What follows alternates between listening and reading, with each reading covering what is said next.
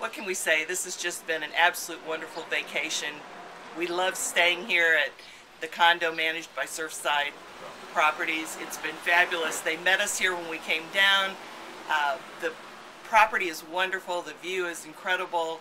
Uh, it just feels like home, and we can't wait to get back. We hate to leave too. It's hard for us right now too. But Exactly. you know, we had a lot of sand and surf and suds and everything else that goes along with it. So I would recommend anybody to come here. They take care of you. The properties are beautiful, as we said.